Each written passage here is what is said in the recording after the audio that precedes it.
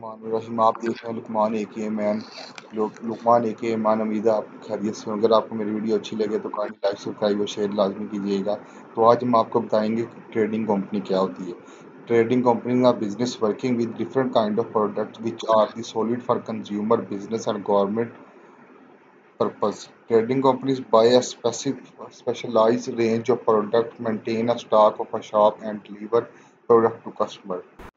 Different kind of practices different kinds of practices make for many kinds of business. Usually two kinds of business are defined in trading.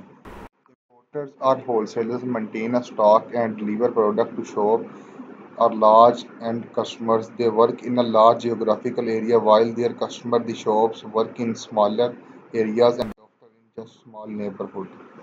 Two-day trading company mainly refers to global b2b trade highly specialized in highly specialized in one goods category and with a strong logistic organization changes in practical conditions such as faster distribution computing and modern marketing have led to change in their business models.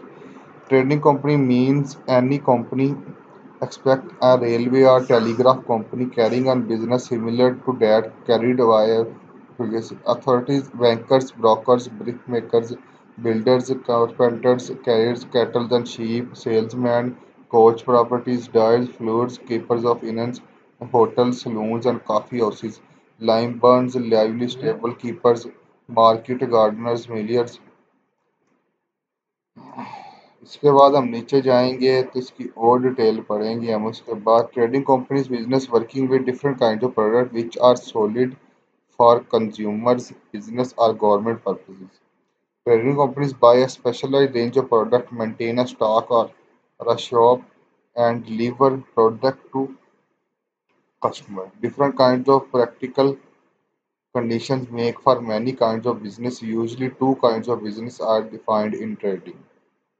Importers and wholesalers maintain a stock and deliver product to shops or large customers. They work in large geographical area while their while their customer the shops work in smaller areas and often in just a small neighborhood.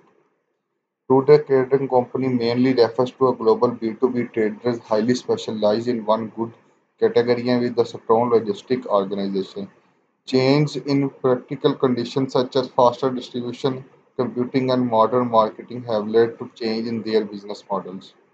Trading company means any company except a railway or telegraph company carrying a business smaller, similar to that carried on by bankers, brokers, brickmakers, builders, carpenters, carriers, cattle and sheep, salesmen, coach, proprietors, dyers, fullers, keepers of inns, tents, hotels, saloons, and coffee houses, lamp burners, lively stable keepers, market gardeners, millers, miners, packers, printers, share brokers, ship owners, shipwrights, stockbrokers, stock jobbers, warehousemen, using the trade of merchandise by way of bargaining, exchange, bartering, commission, and otherwise through the by retail or by a person who, either for themselves or as agent of factors for others, seek their living by buying and selling or buying a letter for hire goods for or by the manufacturer, workman, or the conversion of good of common rules. Japan has a special class of general trading company, Sogo Sosha, large and highly diversified business that trade in wide range of goods and services.